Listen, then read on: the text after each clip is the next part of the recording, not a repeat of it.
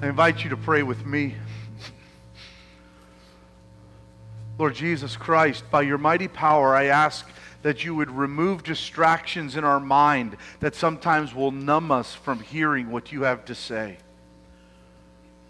And as you remove those clouds that can block the Word of God, may it go deep into our souls and may we receive it and respond to it with an amen. May it be life transforming, whatever it is you want to speak to each one of us through the truth of the Word of God and the reminder of your ascension into heaven, where you now reign as King of all kings and Lord of all lords. To your name we pray. Amen and amen. I invite you to take your seats. Happy Ascension Day. How are you celebrating? Are you getting your uh, decorations out for your ascension tree at home? Are you painting your ascension eggs and throwing them up in the air like Jesus ascended into heaven? Or how about buying masks so we'll all stand like this, like the apostles staring into heaven at Ascension Day? You've at least sent out Ascension Day cards, haven't you? Right? I joke around because we focus on Christmas, we focus on Easter, and we focus on Pentecost. And those are the three high holy times in the Christian calendar. But I also want to remind us this morning of the value of Ascension Day the importance of it in our life. Now, to be clear, Ascension Day happens 40 days after Easter, which was this, this past Thursday, but we celebrate it in the church then on the following Sunday. And so it is the time when, after Jesus spent 40 days on earth after his resurrection, he ascended into heaven where he rules and reigns forever and evermore. And so I'd like to share with you a couple of truths, a couple of theological teachings about why Ascension Day is valuable to us why it's more than just a theological doctrine. Yes, if you remember, we say it in our creed, right? He ascended to the Father. Remember, we say that in our creed every week. Why is it important in our daily lives? Well, the first thing I'd like to look at is that this is part of the shift in Jesus' life. Theologians tend to break off the first part of who, what he did and the second part. The first part was called his time of humiliation. And that time was from the incarnation, the birth of Christ, to all the times he was persecuted as he walked the earth, to his suffering and his death and his burial in a tomb. It was his time of humiliation, in a sense, where he, as Lord, came down, down, down till he was finally buried in a grave. And then on that glorious Easter morning, which we celebrated, it seems like forever ago, doesn't it? But just not that long ago, on that glorious Easter morning, we begin the exaltation of Christ, we remember his resurrection and his conquering of all that is evil. We remember his ascension into heaven, how he reigns there now, and through the ascension, we look forward to his second coming again. So you can see how ascension plays a very valuable role in the process of the exaltation of Christ. In the book of Philippians, this whole thing is summed up in a hymn that Paul wrote where it says about Jesus Christ, He made Himself nothing. He took on the nature of a servant, being made in human likeness. He humbled Himself he became obedient to death, even death on the cross. Can you see the humiliation he went through? But Paul doesn't stop there because it doesn't stop there. He is no longer in the tomb. You're like, is this an Easter sermon? Every day's an Easter sermon. Amen? Because his resurrection life is our reality that we now take upon us. For he has resurrected us from death and resurrected us from sin. And so we look forward to the second half of this where it says, Therefore, God exalted Christ to the highest place. He gave him the name above every name, that at the name of Jesus every knee will bow in heaven, on earth, and under the earth. And every tongue will confess that Jesus Christ is Lord to the glory of God the Father. We must never, no matter how many years we walk this Christian life, we must never stop being amazed that He has now parted the Red Sea of our spirits and allowed us access to Him forevermore.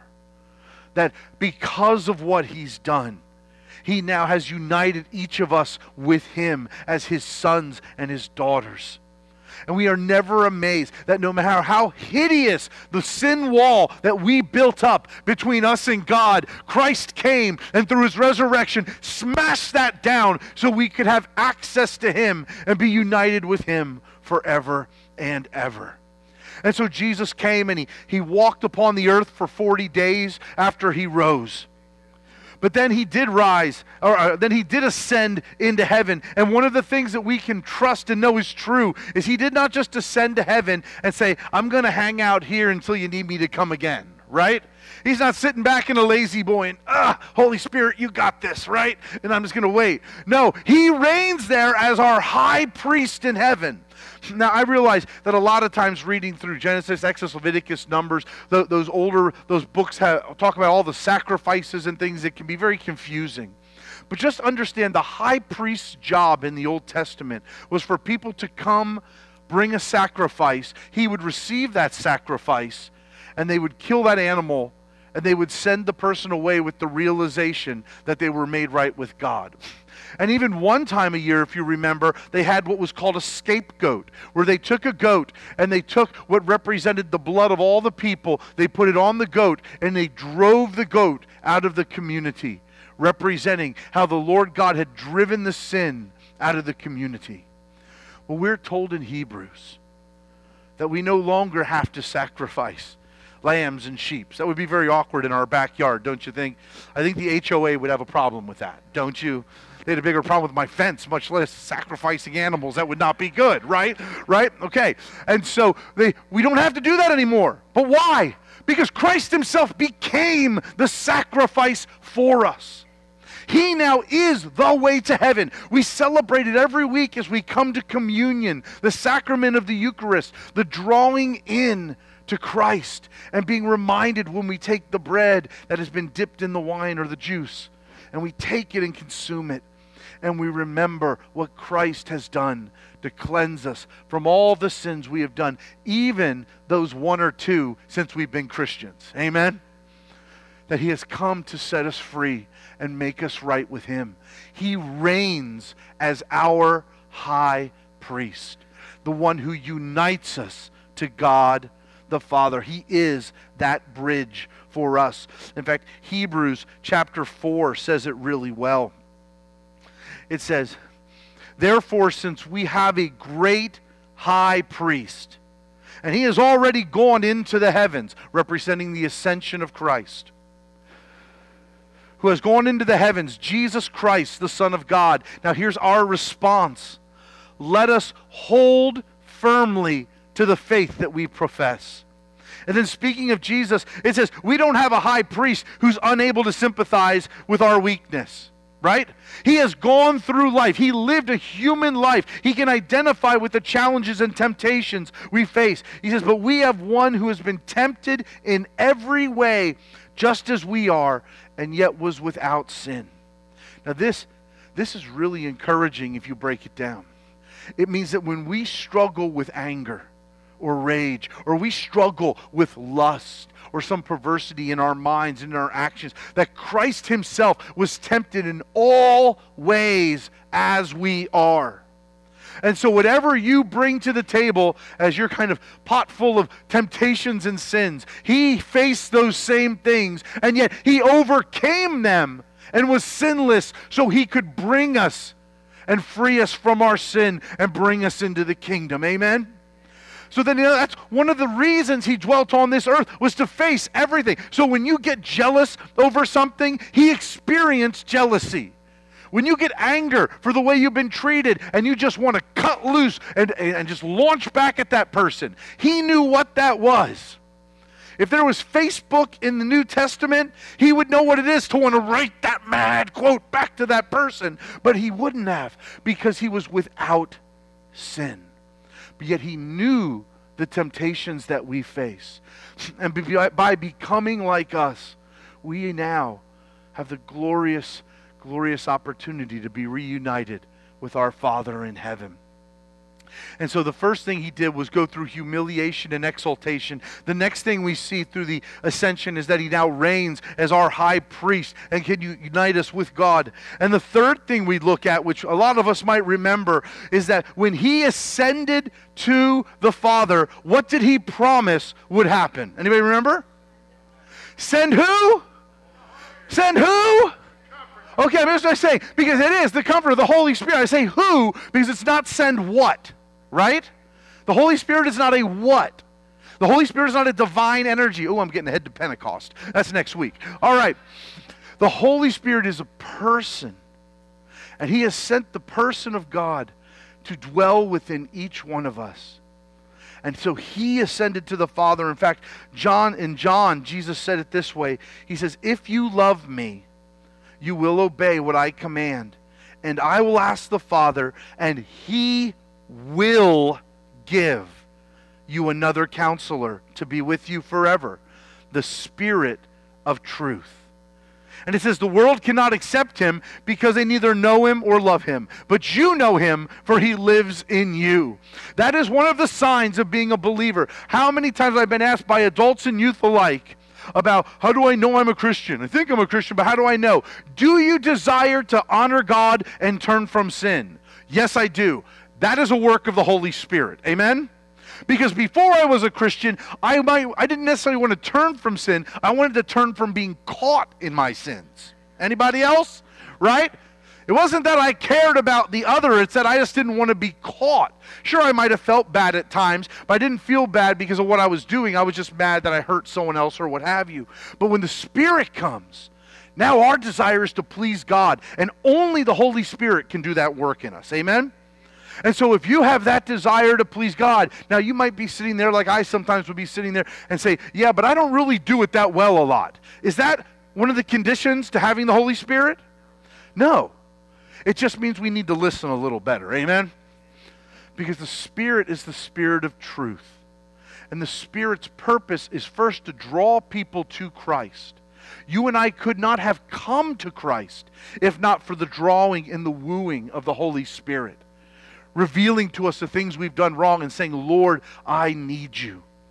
And then we are told that we become temples of that Spirit. Isn't that a kind of a neat picture if you think about it? That He dwells within this temple that is our bodies. And He works for the glory of God through us. I know it's a terrible example, but I thought it was kind of funny, so I'm going to share it with you anyway. I'm going to test some of your ages. How many of you remember Popeye? Anybody remember Popeye? Most of you, Millie didn't raise her hand. That's okay. You're not missing anything. But if you remember, Popeye would always fight these guys, especially, was it Brutus? Brutus, something like that, right? So, okay, Brutus. He'd fight Brutus, and Brutus would always win until what? Until he ate the spinach, and then it'd be like boom, boom, boom, and like, you know, he get the muscles all popping out and everything like that. Now, you're going to laugh at me, but when the Holy Spirit fills you, the enemy of your souls is now able to be defeated because Christ reigns in you. But the good news is, unlike Popeye, whose spinach power wore off after a while, right? The Spirit of God does not get weaker when He works through us. Amen? He still is, is and always is the presence and power of the living God in us. And Jesus gave Him to us because we now, as His body, the Bible says, are able to do greater things for his kingdom than if Christ just stayed on this earth. Because now he can multiply his presence out through us. That's quite a responsibility, isn't it? That means when we're interacting with people, that the Spirit of God is meant to work through us. Amen? How many of you know what it's like to have the Spirit want to work through, but we put up a little blocker there every once in a while? Yeah? Where we know what we're to do, but we don't always do what we're supposed to do. And that's that war that Paul talked about in Romans 7, where he goes into this whole back and forth thing. If you remember, he's like, I know what I'm supposed to do, and yet I don't do what I do. And the very thing I want to do is not what I do, because that's not what I want to do. And it goes back and forth, back and forth, and it says almost like that Abbott and Costello thing who's on first right? That's almost what it's like if you're familiar with that. But in the end, he says, Thanks be to God who has given us his spirit.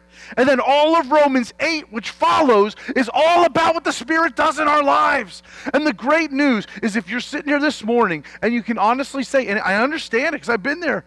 I've been there a lot of times where we sit here and we say, but I don't feel any of the presence working through me. I feel spiritually weak. Know that that is not meant to be your relationship and your experience with God. Amen?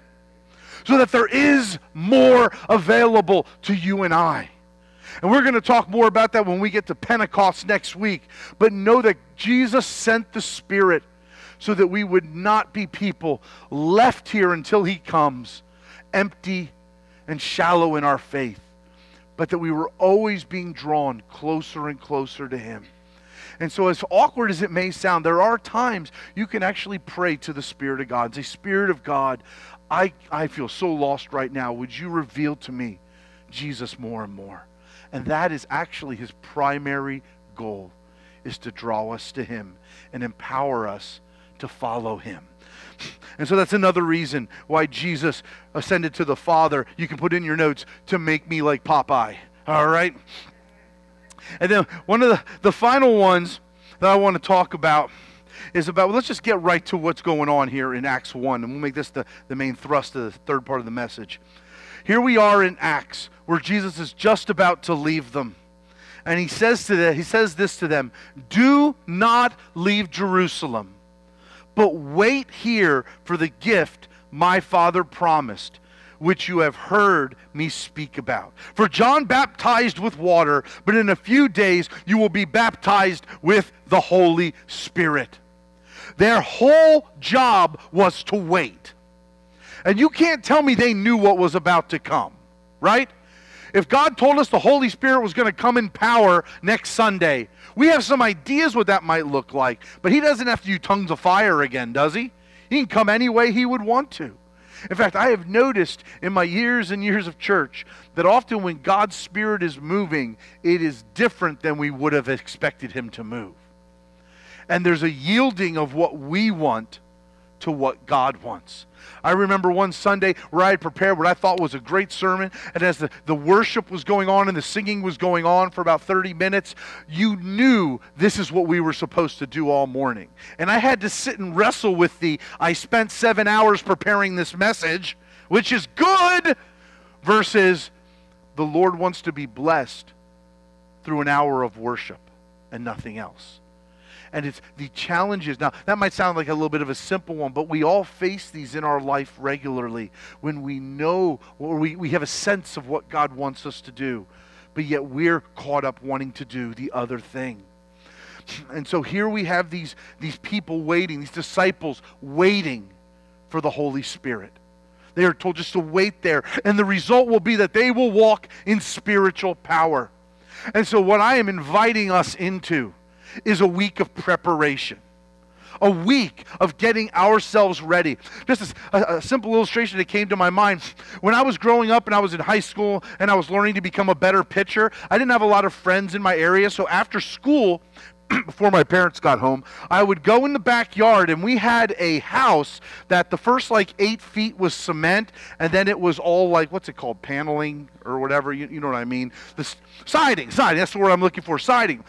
And I would go out there and I'd pitch and I'd pitch and every once in a while a curveball would get away from me and it would go higher than eight feet, causing it to hit the siding. So when I was in high school, if you would have gone around the back of my house, you'd have known where I pitched because you'd see dent, dent, dent, dent.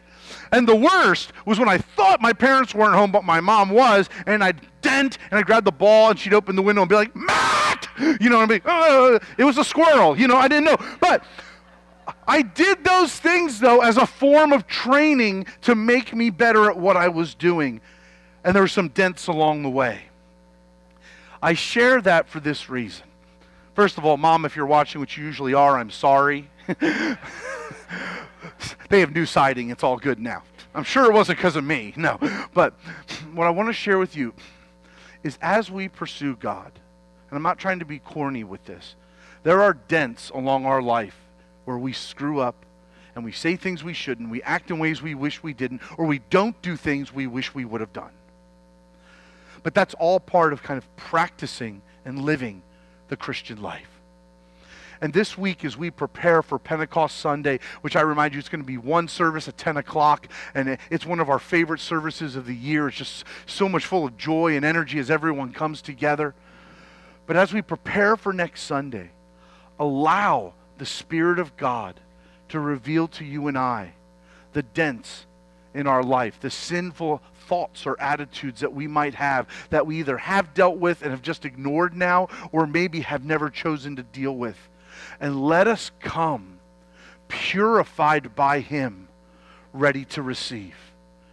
Because the Spirit of God chooses not to fill sinful vessels, but we have one who has gone before us to make us clean. Amen one to make us pure. And so it might even require sa- Sunday morning having to repent for something that happened on Saturday night. Not that that ever happens to you, but just pretend, you know, for something we did on Saturday night. But come ready to receive. But we come ready not just by an act of faith, though that's part of it, but we come ready because we've allowed the presence and power of God to reveal areas of sin, knowing that if we confess our sins, He is faithful, He is just, and He will forgive you and I of all unrighteousness. Glory to God that there aren't some list of sins that are harder for God to forgive than others. Isn't that, isn't that wonderful? We could confess this list and be like, well, God, these two are on your other list, so I know you can't deal with them. No, to Him, any act of rebellion can be forgiven because of His merciful love for each one of us. Now, I want to be clear we don't earn salvation and we don't earn the presence of God. Does everybody understand? That's not what I'm saying. I'm saying we allow God to remove what needs removed this week so we can come expectant that He's going to refresh and revive. And I know there are a lot of us, including myself, who deeply could use a fresh touch from God, a fresh, fresh restoration in our minds and our spirits if we're honest with ourselves. And I'm excited that you'll join me in preparation and prayer. That whether it happens throughout the week or we join together on Sunday, for God to refresh us and restore us once again on this Pentecost Sunday. We're hoping to have a baptism. We're going to take a moment and honor our graduates. I thought that kind of fit. We're graduating into the next step of the Spirit, they're graduating into their thing. And it is just going to be a power packed Sunday morning. And we're going to believe for God to move. And so that is why Christ descended into heavens, friends, to be our king, to be our priest, to release his spirit, and then finally, you thought I was done. One more minute. And finally, I won't go into this too far because we've taught a lot on it, so that as he went, he will come again. That that ascension is to represent both in 1 Thessalonians 4 and Revelation 19 and other places how he will come again with his church and his, all his angels and they will come and make all things right one day. So as he ascended, so we pray, Maranatha, come, Lord Jesus, come. Allow me to pray for us. Almighty God we would ask that this week, even if we start to forget about doing it, that you would remind us by your Spirit over and over of the areas that we need to release to you. We need to repent and be transformed of by you. So that when we gather here next Sunday, not just to, to celebrate a day, but to celebrate the coming of your Spirit, that we will be prepared by you to receive a deeper filling, to receive a greater empowerment, to do the work that you have called us to do until you take us to be with you or you come to receive us on that last day. We pray this in your mighty name, for it's a work only you can do. Prepare us, Lord Jesus. Amen and amen. I invite you to stand for our song of response.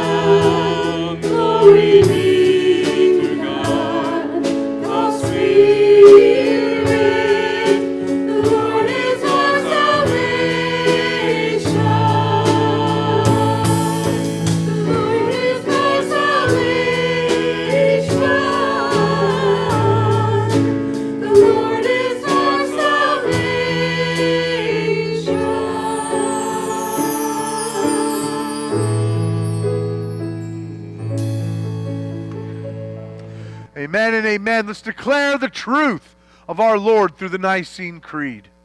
We believe in one God, the Father, the Almighty, maker of heaven and earth, of all that is visible and invisible. We believe in one Lord, Jesus Christ, the only begotten Son of God, eternally begotten of the Father, God from God, light from light, true God from true God begotten, not made, of one being with the Father. Through him all things were made. For us and for our salvation, he came down from heaven, was incarnate from the Holy Spirit and the Virgin Mary, and was made man.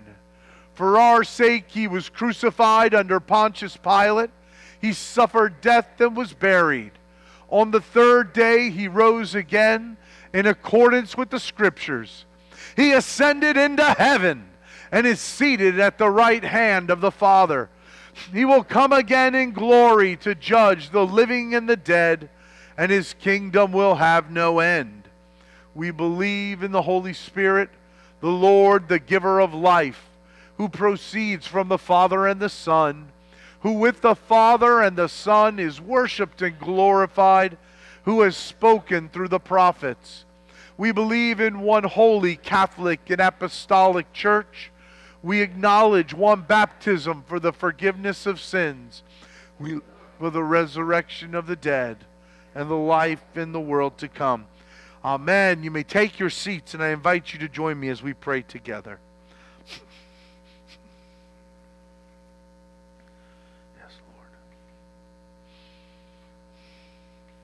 Let us pray for the church and for the world by saying, Hear our prayers. Almighty God, we come to you for the peace of the whole world that we know is found only in Jesus Christ. We come that your church would be unified in your great name. And Lord, we pray to you for our brothers and sisters in Christ who on that this very day are being persecuted and attacked and even killed for their faith. We pray for the church in Vietnam, in the Philippines, in, in, and in Indonesia.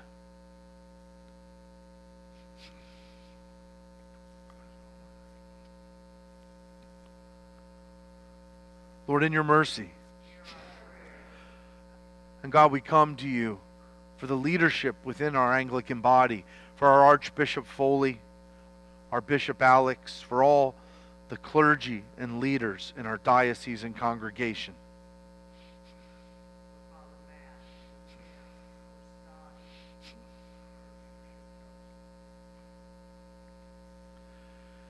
And we come to you, Lord, for our sister church in Belize, Christ the King Anglican. And we pray, Lord, that in all churches your Spirit fills them with anointing and with power to preach and be filled with the Spirit's wisdom and anointing, bringing us to holiness. We also pray that you would minister and work through our neighborhood school, Westview K 8, and all the surrounding schools in Duval and Clay County.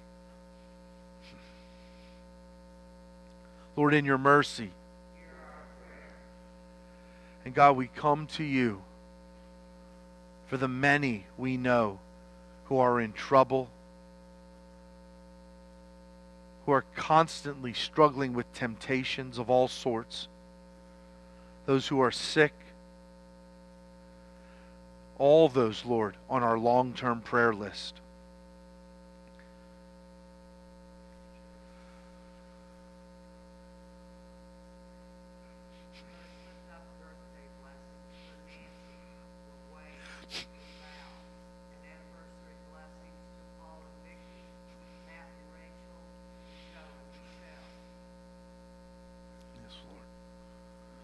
And Lord, to you we pray for those who have departed this life with the certain hope of the resurrection. In thanksgiving, we pray these things, Lord, in your mercy. And finally, Lord, I pray for Christ Church. I pray to you, Lord, that you will not allow the devil a single foothold in any relationship, in anything that we do, in any directions we move as a church, and that you'll continue, as you have been doing, to raise up wonderful forms of worship and artistry within this church. That we would be a beacon of light of your kingdom to the community around us. That we would continue to be, as you have already helped us to be, a place that would receive people of all backgrounds and all persuasions, Lord. A place where they will find the love and power of Christ. I invite you now to join me in the collect for the day. O God, the King of glory, you have exalted your only Son, Jesus Christ, with great triumph to your kingdom in heaven. Do not leave us comfortless, but send your Holy Spirit to strengthen us and exalt us to the place where our Savior Christ has gone before, who lives and reigns with you and the Holy Spirit, one God, now glory everlasting. Amen. Now let's take a moment and confess our sins as the Spirit reveals them, knowing our Lord is willing and longing to forgive.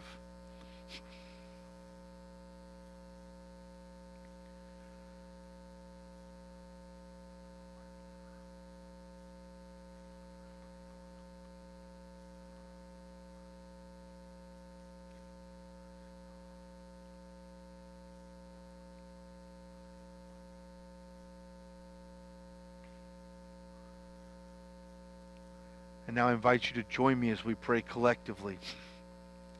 Most merciful God, we confess that we have sinned against you in thought, word, and deed, by what we have done and by what we have left undone.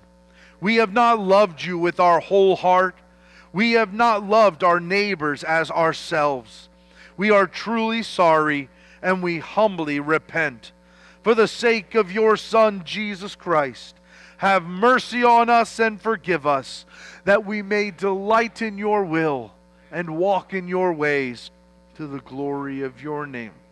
Amen. Almighty God, our Heavenly Father, who in His great mercy has promised forgiveness of sins to all who sincerely repent and in true faith turn to Him. May he have mercy upon you, pardon and deliver you from all your sins, confirm and strengthen you in all goodness, and bring you to everlasting life through Jesus Christ our Lord. Amen and amen. The peace of our Lord may it always be with you. Let us offer the peace to one another.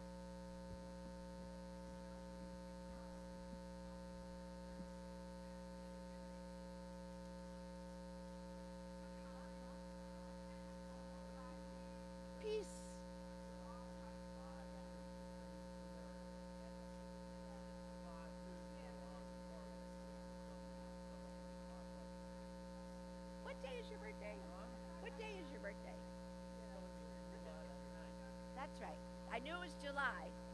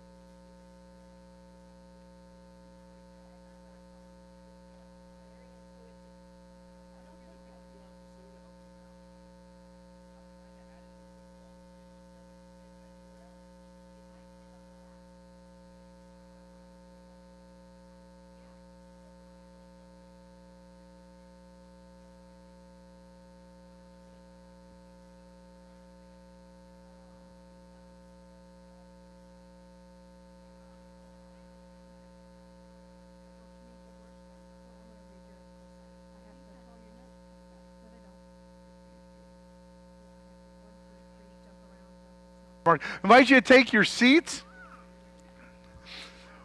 We are going to pray for this wonderful group of kids. Everyone, wave to your mom, dad, grandma. All right, we're going to pray for you now. Lord Jesus, I thank you for these young men and women of God, that everything they learned in their classrooms would make them stronger in their relationship with you. And I pray, God, even though they're unaware of it, that you would fill them with your spirit to make wise decisions in your name. Amen. All right, everybody back. Oh, no, Jeremy, you have to come up and preach with me. Just.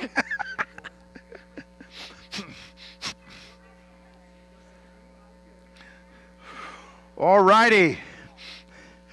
Reminder that next week we have one Pentecost service starting at 10 o'clock. And right afterwards, we're having a big meal together. We will provide the main meats and such, but we invite you, if you're able, to bring kind of a side dish kind of type of thing. But if you don't, you're certainly welcome to join us and eat. That's not a problem. But we're just going to have a wonderful time together. Now, it's an Anglican tradition to wear red on Pentecost Sunday. There will not be security guards blocking you if you forget or choose not to, but we will welcome you to wear red on Pentecost Sunday, and we'll set it up. We'll have the new banners up for Pentecost, and I think it'll be a very wonderful day of spending time in the presence of God through His Holy Spirit. So 10 a.m. It actually, if I could be frank, is a great service to invite a friend to who you feel maybe is on the brink of being willing to come to church with you because it's just so high energy and it's just life giving, and I think they would appreciate it. So maybe take that as a bit of a thought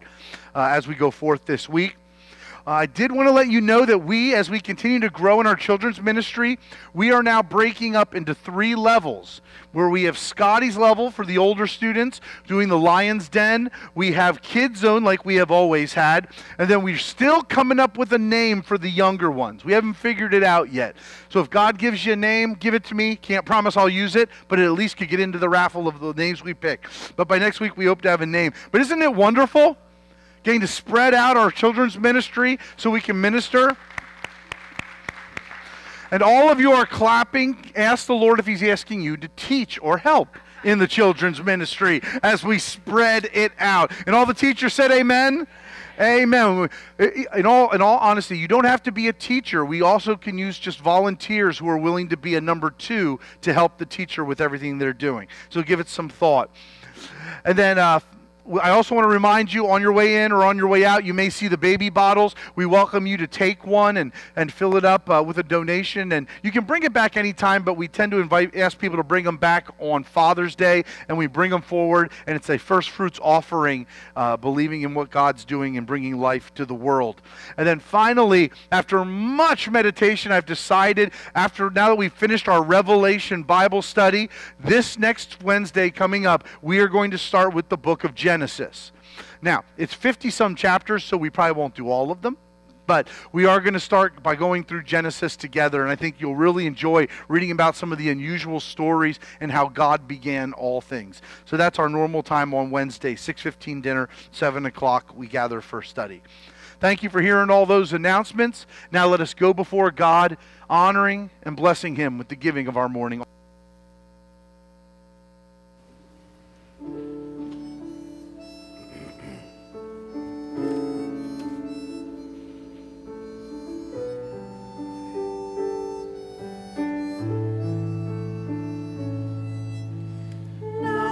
Might, not by power, but by my Spirit, says the Lord. Not by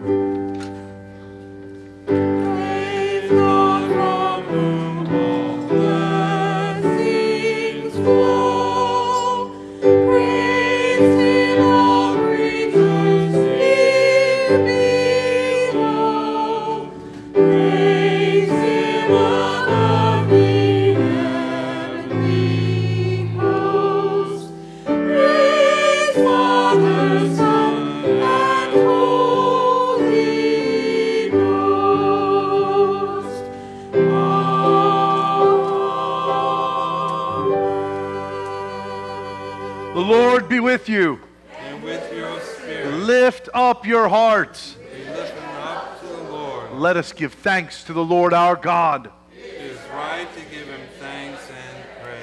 It is our right, our duty, and our joy always and everywhere to give thanks to you, Father Almighty, Creator of heaven and earth, through your most dearly beloved Son, Jesus Christ our Lord, who after his most glorious resurrection appeared to his apostles and in their sight ascended into heaven to prepare a place for us, that where he is, there we might also ascend and reign with him in glory forever and ever.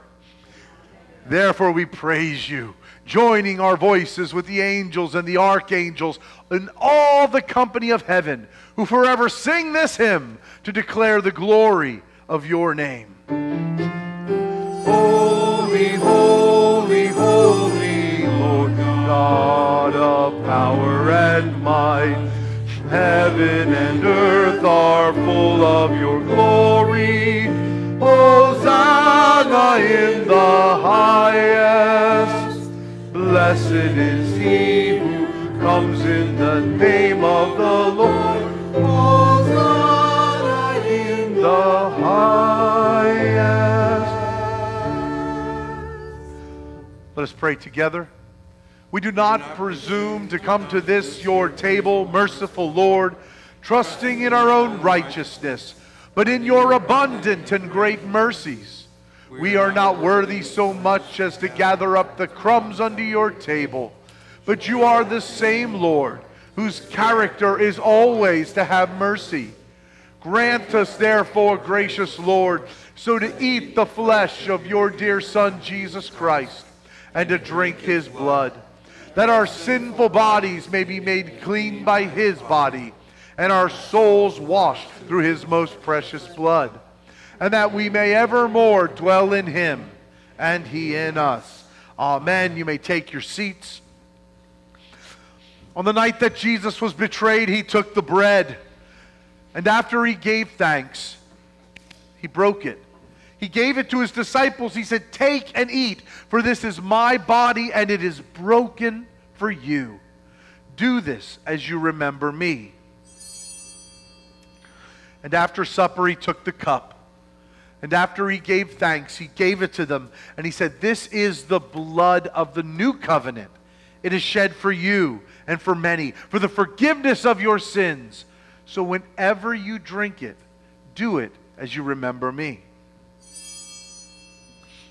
We ask you, Lord, to sanctify these gifts, that they become for us the body and blood of the Lord Jesus Christ. And that you would sanctify our hearts also, Lord, that we would display your presence and your power to the world around us. All this we ask through Jesus Christ, for by him and with him and in him, in the unity of the Holy Spirit, all honor, all glory is yours, now and forever. Amen. And now, as our Lord has taught us, let us boldly pray his prayer together. Our Father, who art in heaven, hallowed be thy name. Thy kingdom come, thy will be done, on earth as it is in heaven. Give us this day our daily bread, and forgive us our trespasses, as we forgive those who trespass against us. And lead us not into temptation, but deliver us from evil. For thine is the kingdom, and the power, and the glory, forever and ever. Amen. O Lamb of God, that takest away the sins of the world, have mercy upon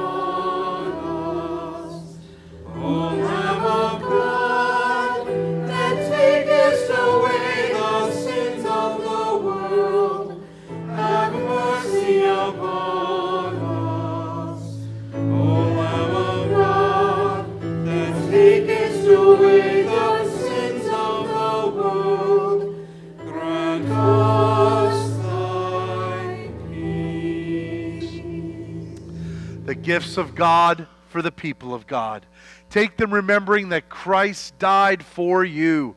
Feed on him in your hearts by faith, and let us give him thanks.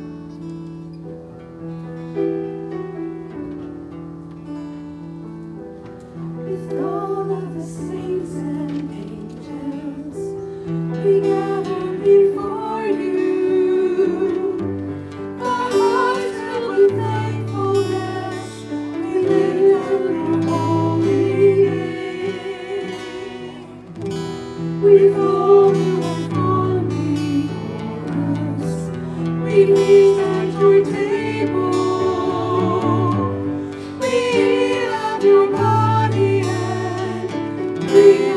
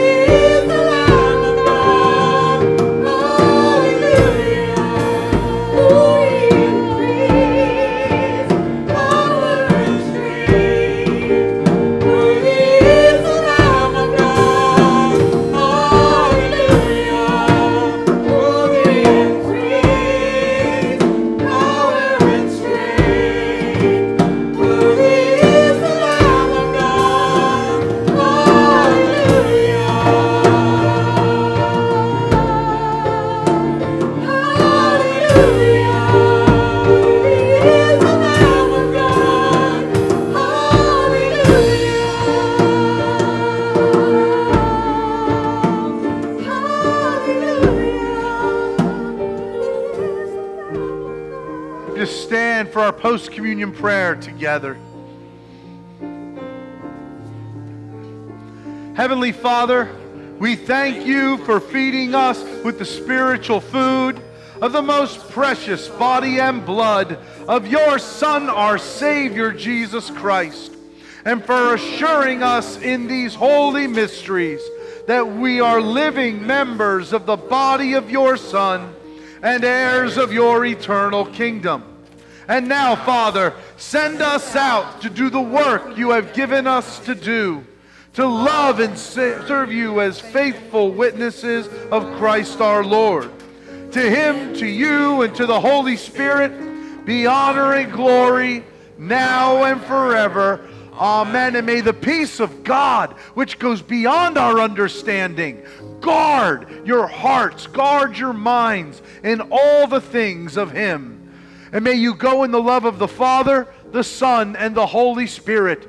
And may we come back next week ready to celebrate the coming of the Spirit. Amen and amen.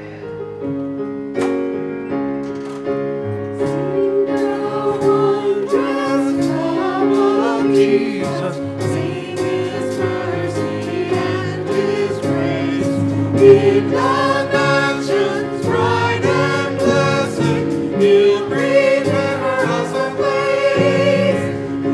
And